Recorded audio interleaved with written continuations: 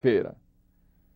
O Congresso Nacional está discutindo um novo conjunto de leis para redefinir o que é crime e qual a punição em cada caso. É a maior mudança na legislação penal em 72 anos. De hoje até sexta-feira, o Jornal do Senado apresenta uma série de reportagens para você ficar sabendo quais as principais alterações previstas no Código Penal.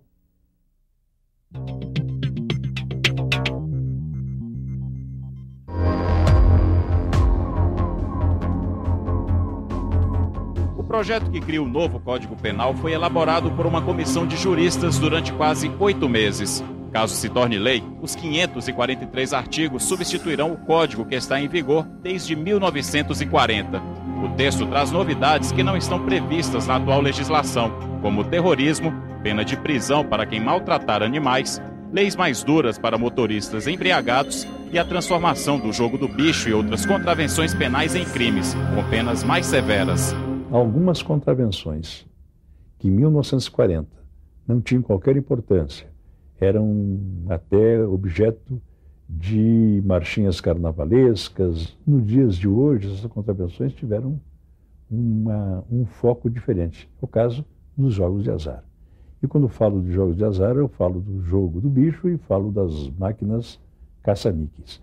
vejam bem que esses crimes, isoladamente, eles propiciam a prática de crimes muito mais graves, como a corrupção, como a lavagem de dinheiro, o tráfico de drogas. É uma mudança profunda. Por quê? Primeiro, o Código tem 70 anos. Segundo, ao lado do Código, nós temos um total de mais de 100 leis extravagantes. Então, nós concentramos no Código Penal o centro do, da ordem jurídica penal. Para que você tenha uma ideia, nós reduzimos de 1.700 comportamentos criminosos para que o Brasil passe, passe a ter algo em torno de 800. A missão foi repassada aos senadores no mês de junho.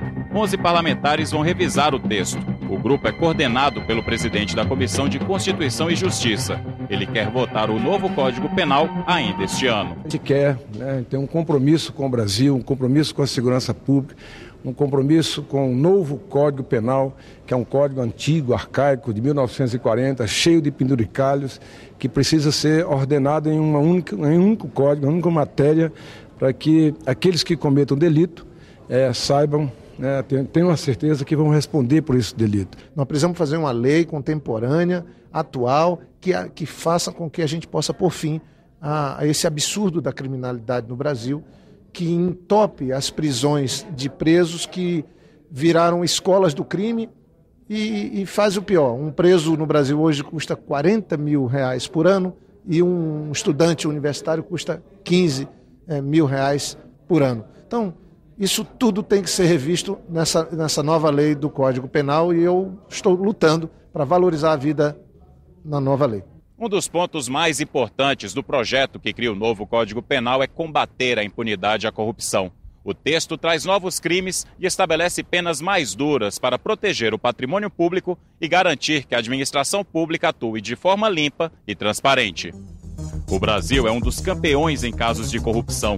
Esquemas que envolvem o alto escalão dos poderes executivo, legislativo e judiciário muitas vezes foram desvendados e acabaram impunes. Situação que pode ser corrigida pelo novo código. Entre as principais mudanças estão o mesmo tratamento para quem corrompe e quem é corrompido. Hoje a pena do corruptor é menor e ele acaba impune. As empresas também poderão ser punidas quando cometerem crimes. E pena de prisão para enriquecimento ilícito, quando o patrimônio do acusado é incompatível com a renda declarada. O enriquecimento ilícito, se for transformado em crime, como é a proposta, vai mudar a mentalidade dos agentes públicos, principalmente dos agentes políticos. Eu acho que deveria ser aplicada a pena realmente de prisão. Porque, assim, são pessoas que roubam, são pessoas que estão praticando um ato irregular com a sociedade. Para mim teria que ser prisão perpétua, porque são mais bandidos que os que estão na rua, né? Se for a pena máxima no nosso país, os corruptos iam pensar duas vezes antes de fazer o crime. Para os corruptos, a pena é em liberdade, em regime semiaberto. Então, eles deveriam ir para a cadeia e sofrer as penalidades como qualquer cidadão. Prisão e, principalmente, entregar o dinheiro roubado. Nós acreditamos piamente que uma legislação bem feita, uma legislação moderna, uma legislação inteligível para o cidadão e para os próprios operadores do direito. Aí eu falo polícia, Ministério Público, advocacia, magistratura.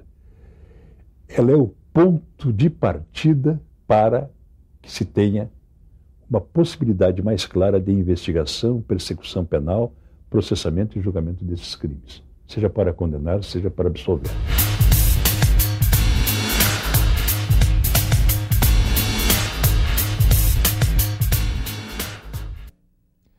A Comissão Especial do Código Penal vai receber emendas de senadores até o dia 4 de outubro. O relatório final deve ser entregue ao presidente do Senado, José Sarney, no dia 20 de novembro.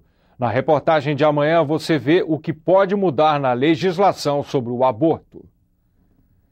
Na página da TV na internet você pode rever as principais reportagens desta edição. O Jornal do Senado